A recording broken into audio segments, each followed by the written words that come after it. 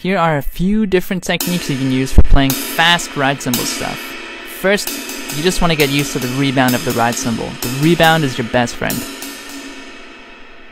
Now when you're playing these up-tempo patterns, these groups of three, you can use kind of this Moeller sort of motion, and I've also heard it described as your, your hand looks kind of like it's doing this flag motion.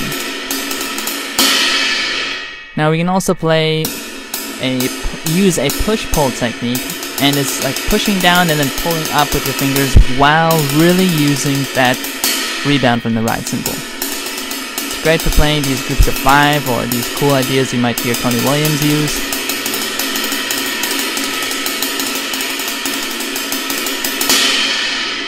And one last one you can use is another variation on push-pull, but you're going to use your thumb to drive the stick uh, as opposed to your regular grip.